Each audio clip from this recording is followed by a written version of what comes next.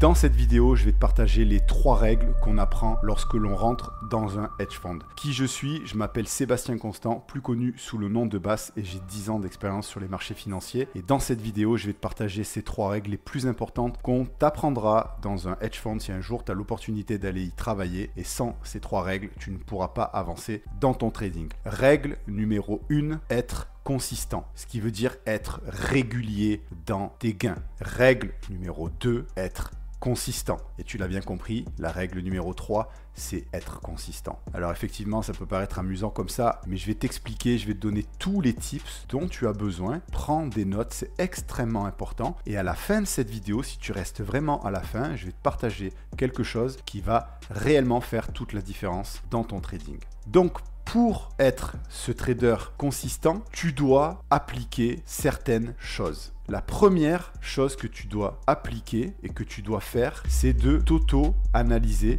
de savoir réellement qui tu es. C'est le départ, c'est les fondations. Je l'ai déjà dit dans une précédente vidéo, dans notre cerveau, on a une partie analytique et une partie beaucoup plus réactionnelle. Et on va avoir une des deux parties qui va être dominante. Chaque être humain est composé de cette manière-là. Évidemment, si tu ne le sais pas aujourd'hui, je t'invite à faire un petit exercice afin de mieux te connaître et de savoir si jusqu'à présent dans la vie, tu es plus quelqu'un qui a besoin de prendre des décisions en réfléchissant, en analysant toutes les données qu'il y a autour de toi, dans la vie en règle générale, ou est-ce que tu es beaucoup plus quelqu'un qui agit de manière réactionnelle, c'est-à-dire que tu es quelqu'un qui est capable de prendre des décisions rapidement, tu analyses très facilement. Et ça c'est important parce que on va voir si finalement à la base tu es déjà plus conditionné à faire du scalping ou à faire du day trading ou voire même du swing trading. C'est vraiment important, c'est la base. Il y a des gens qui sont mieux pour l'un ou pour l'autre et en fonction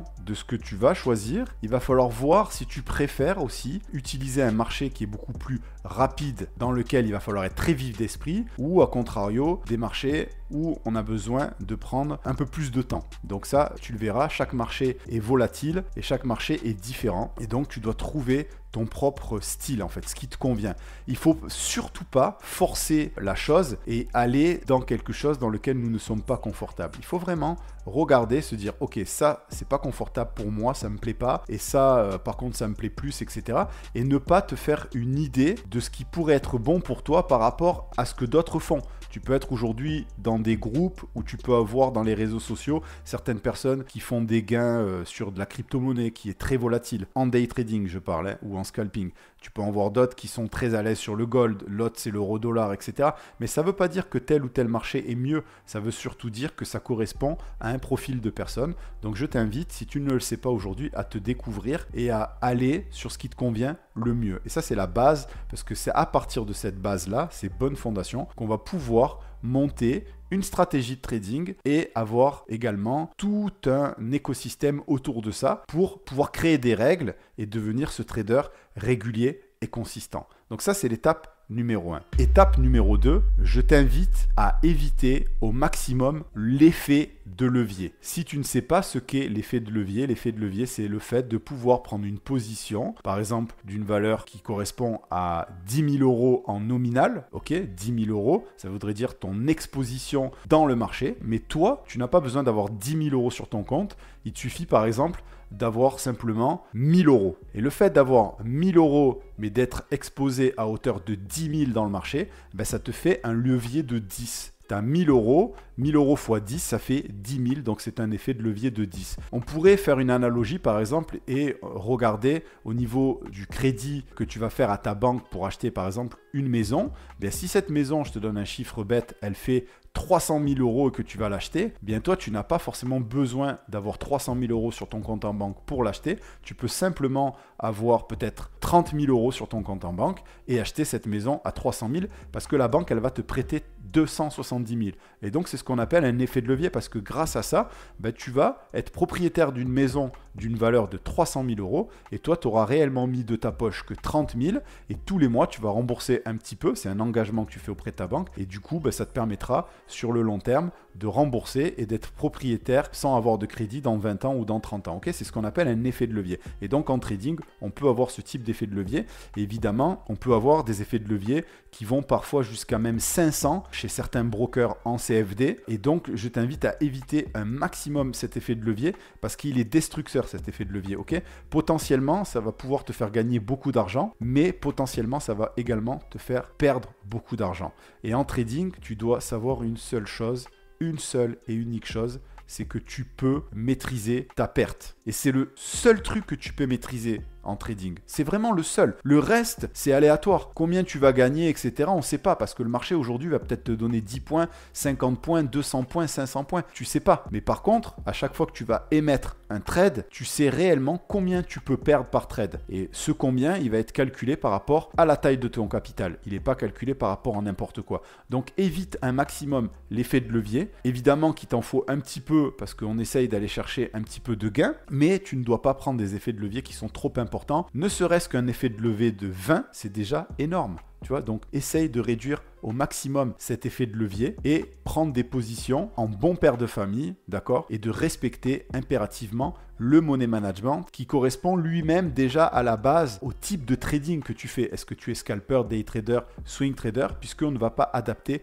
le même money management en fonction du type de trading que tu fais. Mais vraiment, c'est très très très important effectivement de ne pas prendre trop d'effet de levier parce que tu remarqueras qu'avec l'effet de levier, eh bien ça te fera simplement avoir des gains et des pertes qui ressemblent à des montagnes russes. C'est-à-dire qu'aujourd'hui, tu vas être capable d'aller chercher 2000 euros de gains, peut-être pendant 2-3 jours, et puis le quatrième jour, tu vas faire moins 1008, euh, euh, moins 2005. Et c'est comme ça que tu crames des comptes en fait parce que tu n'es pas consistant, tu n'es pas régulier. Et donc pour être régulier, il faut vraiment baisser cet effet de levier parce que effectivement, tu vas faire des gains qui ne seront peut-être pas des gains dingues, tu vas pas chercher 5000 euros dans une journée, mais ne serait-ce que d'aller chercher 200-300 euros, bah, c'est déjà très beau parce que si tu fais ça tous les jours, bah, calcule à la fin du mois, ça te fait un petit billet de 5-6 000 euros.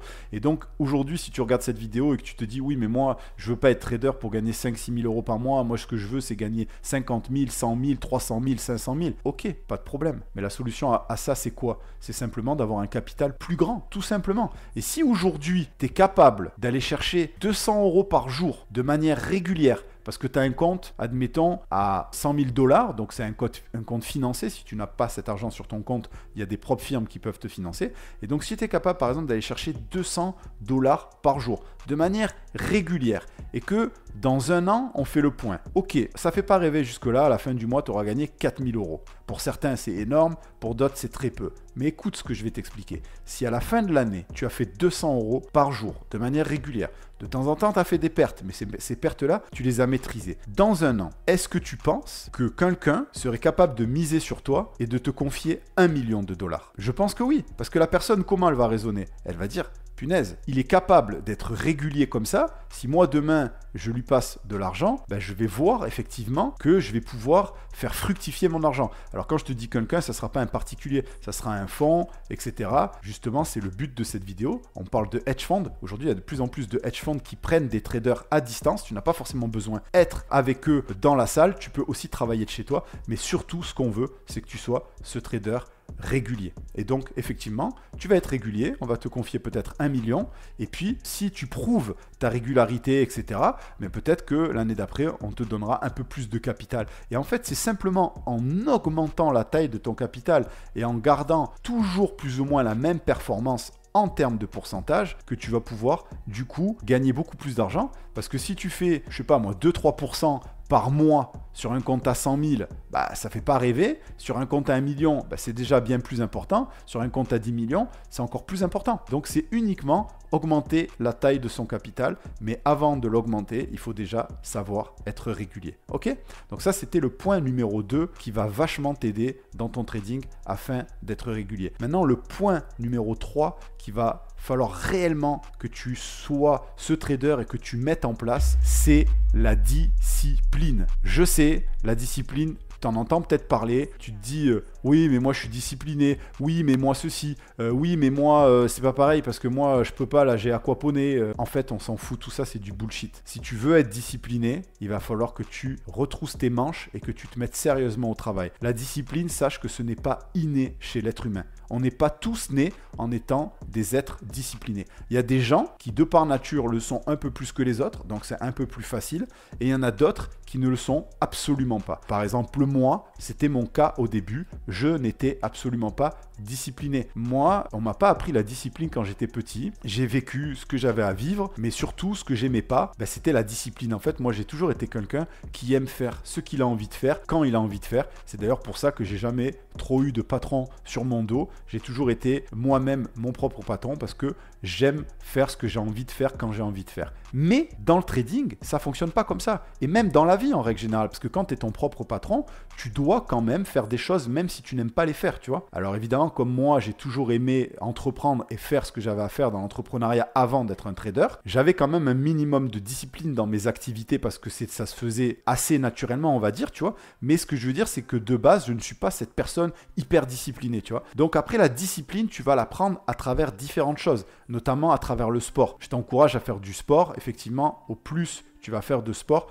au plus tu vas être discipliné. Pourquoi? Parce que déjà, si tu fais par exemple un sport d'équipe, ben, tu vas devoir avoir de la discipline parce que tu as aussi des comptes à rendre à ton équipe. Tu vois, demain, tu fais du foot, du volleyball, peu importe, tu es dans une équipe. Et donc, tu dois faire un travail pour l'équipe. D'accord? Tu peux faire des sports de combat. Les sports de combat t'apprennent la discipline parce que tu dois apprendre le respect de l'autre. Et il y, a tout, y y a tout un tas de process que tu dois faire et mettre en place pour être accepté en tant que euh, combattant, etc. Donc, la discipline à travers le sport, c'est extrêmement important. Pourquoi? Parce que tu peux aussi ne pas faire de sport de combat, tu peux ne pas faire forcément de sport d'équipe, mais tu pourrais par exemple faire du footing. Et le footing va créer une discipline chez toi. Pourquoi? Parce que le footing, c'est pas quelque chose à la base qu'on a spécialement envie de faire. Tu vois, quand tu te lèves le matin, tu te dis pas tiens, je vais aller taper 10 km parce que euh, genre c'est fun, c'est cool, etc.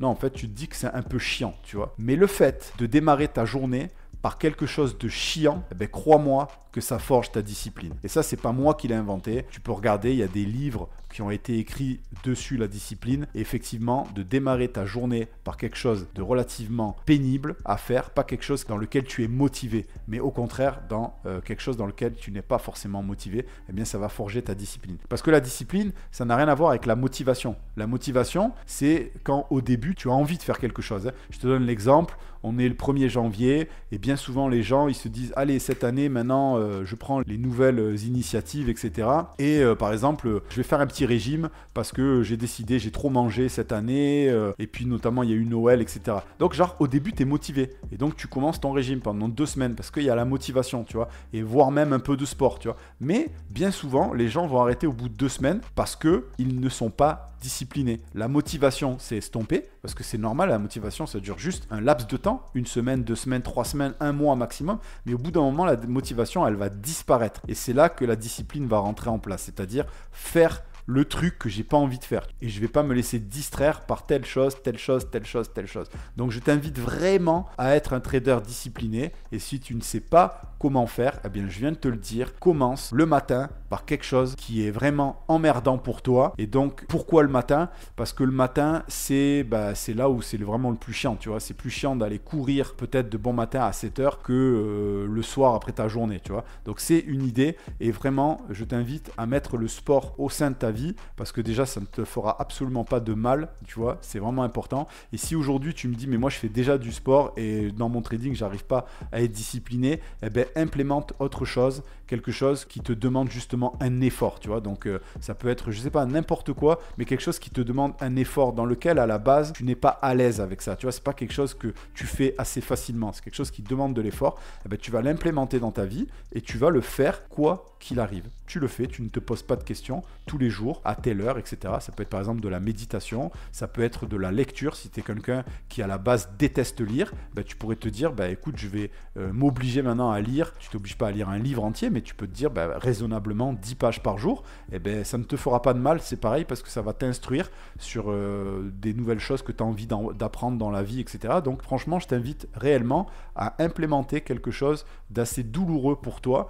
et à le mettre en place. Ça, c'est vraiment quelque chose d'extrêmement important. Et tu verras que tu deviendras ce trader régulier. Si tu mets tout ça en place, tu vas devenir ce trader régulier parce que tu ne vas pas du tout travailler de la même manière. Tu vas être en sous-levier, donc tu prendras beaucoup moins de risques dans tes positions. À la base, tu te connais. Donc le fait de te connaître, ça te permet d'aller dans ce qu'il te plaît, dans les choses dans lesquelles tu es à l'aise, tu es confortable et tu vas pas aller te mettre en danger. Donc si toi, tu es par exemple mieux dans le scalping, bah, tu vas pas aller dans le day trading parce que le day trading, il va falloir être plus patient. Et toi, tu es peut-être à la base quelqu'un d'assez impatient. Tu aimes euh, quand c'est rapide, tu aimes ce dynamisme et le fait d'aller sur un marché peut-être un peu plus mou en day trading risquerait de te faire prendre des trades d'impatience tu vois. Et à contrario, si tu es quelqu'un où tu as besoin de plus comprendre, analyser, bah, aller dans le scalping où ça va péter dans tous les sens, tu risques de prendre des mauvaises décisions parce que ça va trop vite pour toi, tu vois. Donc vraiment, c'est important de te connaître.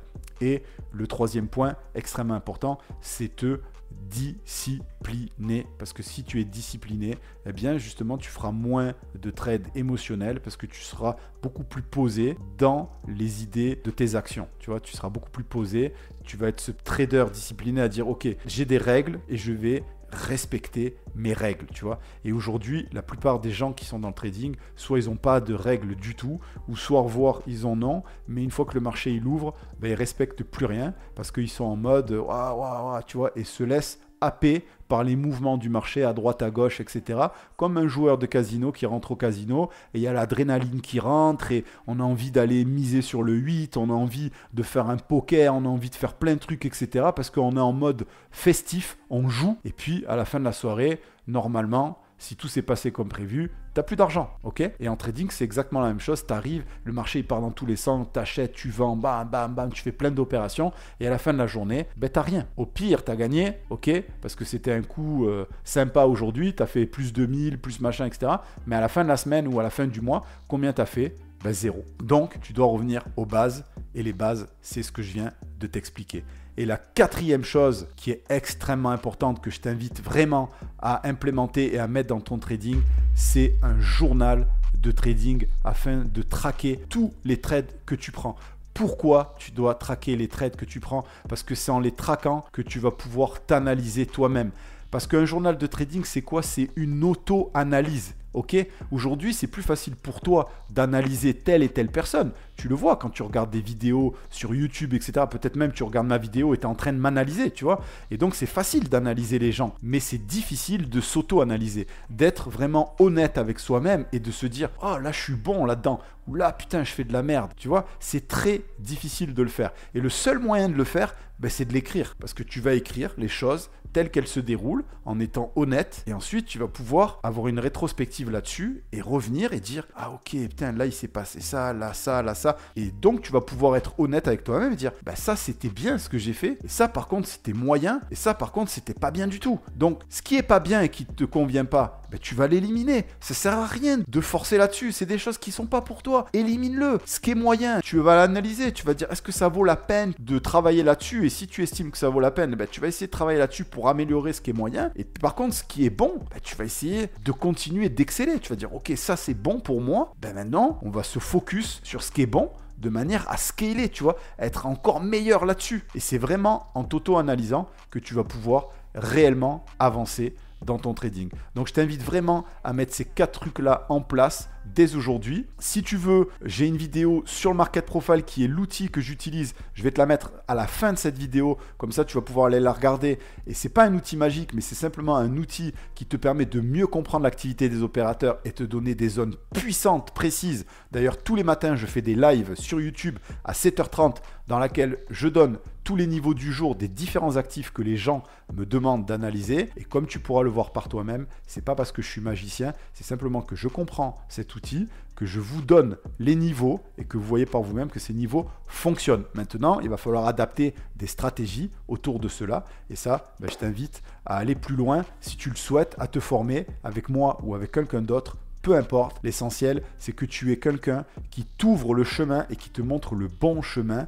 et que tu implémentes tout un tas de règles et de choses et que tu comprennes ce que tu fais, tu vas être beaucoup plus confiant dans ton trading, tu seras moins émotionnel et tu feras les bonnes choses au bon moment. En tout cas, c'est ce que je te souhaite du plus profond de mon cœur. Le petit cadeau, c'est maintenant. Je te l'avais promis en début de cette vidéo. La surprise que je vais te faire, c'est que dans cette description, j'ai mis un lien. Tu cliques dessus et il va te ramener sur mon journal de trading. Tu as juste à le télécharger et je t'offre mon journal de trading. Tu pourras le modifier si tu le souhaites. Hein. Tu pourras toujours modifier, rajouter des trucs ou en enlever. Mais en tout cas, c'est quand même une bonne base et je t'invite du coup à l'utiliser. Tu vas énormément progresser. Sur ce, c'était Bass. On se retrouve dimanche prochain à la même heure. Ciao, ciao, ciao.